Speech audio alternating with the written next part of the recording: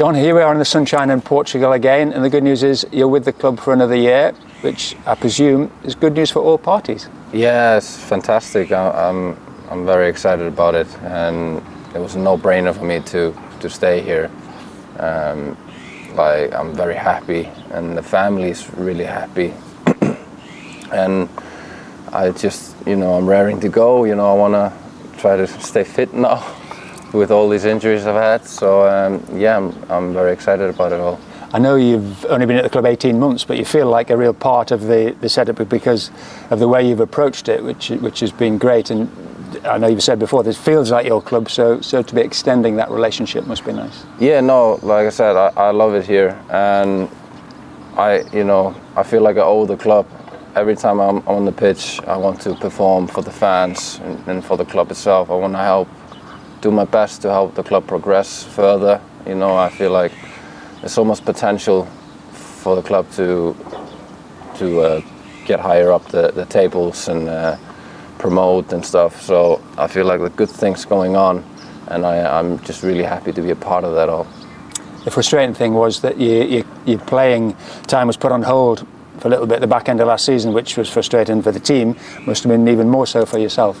Yeah, it was tough mentally mainly because um, I haven't, I hadn't, I've been fairly lucky with injuries in my career so far, and I'd never had a surgery, for example, in my career before, so that was a new kind of thing for me to deal with. Um, and I still remember when Mark told me over the phone like um, how long the injury was going to be, and said till the end of the season. I was, I was, yeah, I just wanted to cry almost, but. Um, that's part of being a football player. You know, injuries come along, and fortunately, it wasn't longer. Uh, but it was especially hard during the last bit of last season because I was back out there the last two weeks of the um, before the season ended with the team. But obviously, Matt's fitness was a factor, and uh, it wasn't possible for me to, you know, be for the last game especially. So it was mm. it was really tough being on the sidelines and mm. watching the game. So I definitely know how fans feel now for sure. But like Jack, really, you, you, both had this hope and target perhaps might make it back for the playoff final, and, and, and, it wasn't quite to be. And of course, you both missed Wembley, which must have been tough, although you were there on the day and, and supporting the team. Yeah, it was bittersweet. Like with the Papa John's final, I was really happy for everyone involved and the club and the fans. But it, you were just left with that feeling, but I didn't do anything. I was just in my suit, you know, cheering the lads on. Um, so yeah, it was hard, like I said. And then obviously against Barnsley, I wasn't really, I was just still a spectator. But I was, you know, you don't have time to feel sorry for yourself. That's just how it is. And um, I'm back fit again now, and um, I'm hoping just to stay fit this this uh, season. But before the injury, in I think the game before before, you scored the win against Portsmouth in the Papa John's Trophy. So you did play a, an important part in the run. Yeah. And you know, you, you were scoring goals and in form at that moment you went out the side. Yeah, and I think it's important to remind yourself of that as well. Like especially at the time, um, you know, me and Jack were, were quite a lot together in the gym uh, with the physios and working working together because of our injuries. And I think we mentioned it like, yeah, you know, we did our job as well to help yeah. the team, to especially in the Papa John's Cup. So, um, yeah, you need to look at that way as well, you know, to find the positives and, and um, yeah, I'm, I'm just looking forward, you know, to, to have a hopefully a full season uh, fit. Yeah, so you are fit. That's that's a great news. Pre-season will be tough for anybody, of course, though it is, and uh, I know you're working hard out here. Yeah, the gaffer and the coaching staff are certainly certainly working as hard out there for sure. Um, but that's what you need, isn't it? Um, it's really tough. I feel like the team is really working hard together right now. The, the camaraderie is really good, and the team morale is good.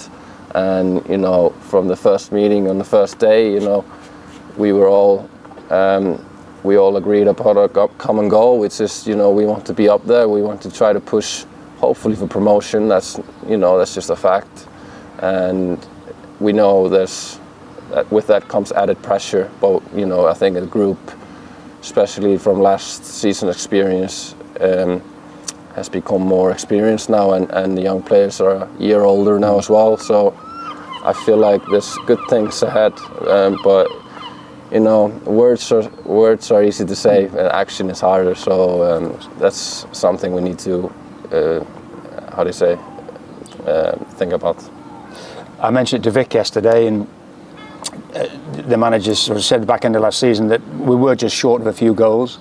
You know, there's no hiding away from that. Everybody's um, sort of owned that, for want of a better phrase. So the strikers all know they have to step up again this year. I mean, everyone will be doing their absolute best. So I'm sure you're itching to play your part and, and, and get that goal output up.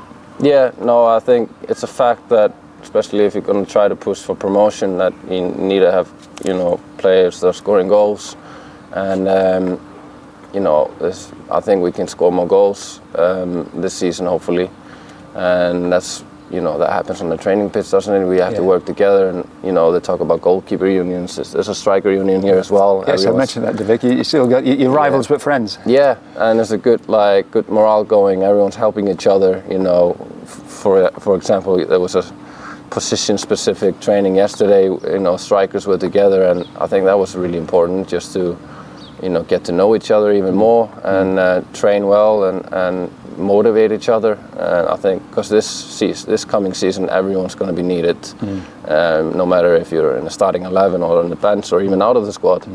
Um, you know, that's the morale and every the camaraderie is very very important and I think you know we've been working on it now from day one so mm. it's very positive But equally, you look at the CV of all the strikers at the clubs, and, and there are goals there. There's no two ways about it. So I, I think that you know we've got that reassurance, all proven goal scorers, certainly at this level and beyond it. So I'm sure the goals are going to come.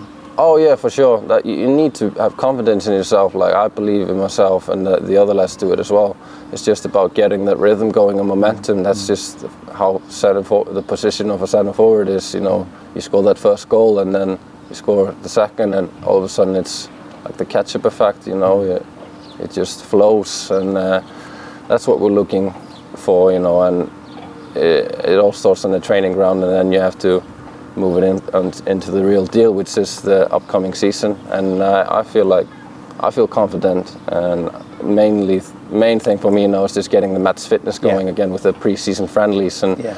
And build up the confidence from there so I'll be ready for the upcoming season. Yeah. And what would it mean to you to, to run out again at, at the stadium with the big crowd in and be back at the uh, at the cutting edge? I can't wait for sure.